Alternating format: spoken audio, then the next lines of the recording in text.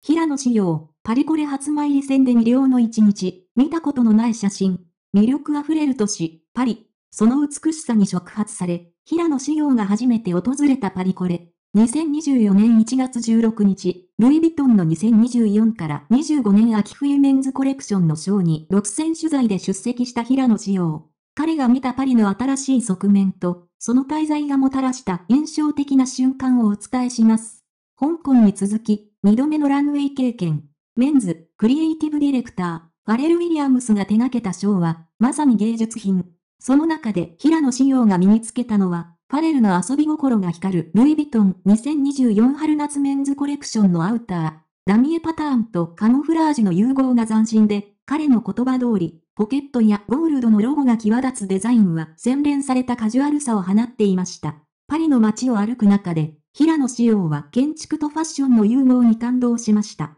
カフェのアーチ状のガラス窓に魅了され、どうやって丸くしたんだろうという興味津々な表情も。そして、街を歩く人々のおしゃれなファッションに触発され、様々なスタイルを楽しんでいる様子が伺えました。ショー当日、会場へ向かう途中、アレクサンドル三世橋でのエッフェル塔のライトアップに興奮。そして、ショー会場であるアクリマタシオン庭園に到着。ネイティブアメリカンをテーマにしたコレクションは、西部劇の舞台を思わせる空間で展開。平野紫耀が注目したのは、ネイビーのワークジャケットパンツのセットアップやウェスタンシャツにニュートンのアウターを羽織ったルック。ティンバーランドとのコラボシューズも彼の強さを引き立てました。ショー翌日、フォンダシオン、ルイ・ヴィトンで現代アートを満喫。建築家フランク・ゲイリーが手掛けた斬新な建物に圧倒されつつ、アメリカのアーティスト、マーク・ロスコの展覧会に足を運びました。平野紫耀は彼の作品と共鳴し、1930年から60年代の作品をゆっくりと鑑賞させていただき、どんな心境で描いたのかが絵画に現れているように感じました。